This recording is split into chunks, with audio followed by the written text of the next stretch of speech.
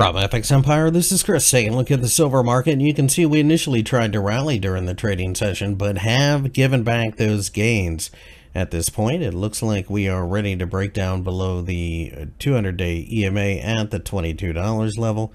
And I think breaking down below there opens up the possibility of a move to 21. But having said that, we're right at a gap and we're in an area, especially with Powell speaking today, that we could send this market in one direction or the other. Basically, what I'm looking for is an impulsive candle to follow, either high or low. Uh, low would be 21, uh, high would be 24 above.